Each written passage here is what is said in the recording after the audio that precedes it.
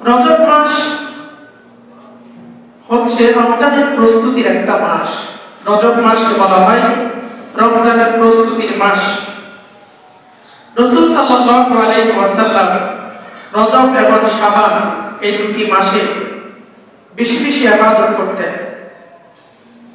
এবং নিজেকে রমজানের জন্য প্রস্তুত করতে বলেছেন। রমজান আমাদের মাঝে আসতেছে। এই খবর রজব এবং শাবান দুটি মাস আমাদেরকে আগে থেকে সংবাদ জানায়, বার্তা জানায়। কারণ রমজান একটি মাস, হঠাৎ করে লাগাতার রাখতে একটি মাস আমাদের কষ্ট হয়ে যাবে। এই কারণে রসুল আলাইহি ওয়াসাল্লাম আমাদেরকে রজব এবং শাবান মাসে রোজা রাখতে বলেছেন বেশি বেশি।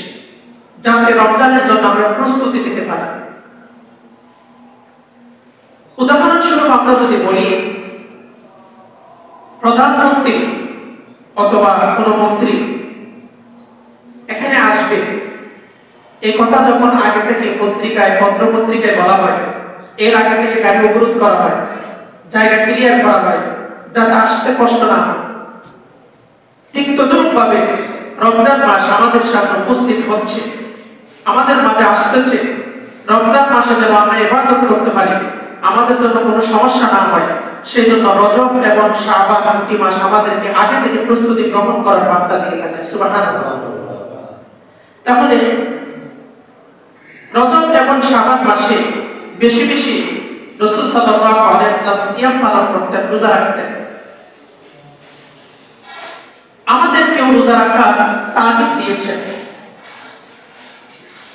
এই জন্য আল্লাহ রব্বুল আলামিন পবিত্র কোরআনে বলেন إن عدة الشهور عند الله اثنا عشر شهرا في كتاب الله يوم خلق السماوات والأرض منها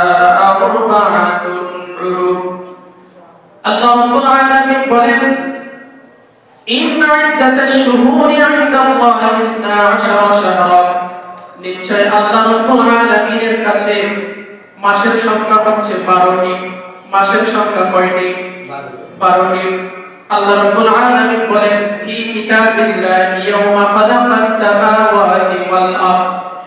আকাশ এবং জমি যেই দিন আমি আল্লাহ সৃষ্টি করেছি ফি কিতাবিল্লাহি কিতাবের মধ্যে নির্ধারণ করে দিয়েছি, আমার বান্দার জন্য মাসের সংখ্যা হবে বারোটি।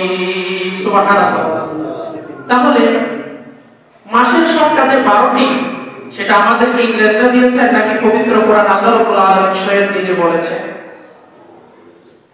ইসনা আশা শাহরা মাসের সংখ্যা বারোটি।